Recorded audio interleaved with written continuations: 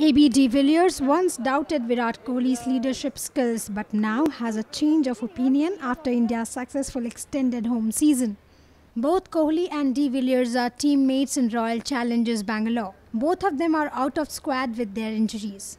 I think it has been an amazing journey to watch him grow as a leader. I think at the start, when the people mentioned to me he has leadership qualities and might become a captain one day, I doubted it. I thought he was emotional with his reactions. Now I think he has found a way to deal with it. He has showed he has skills with his captaincy and he has taken all the doubters and showed them he can conquer anything.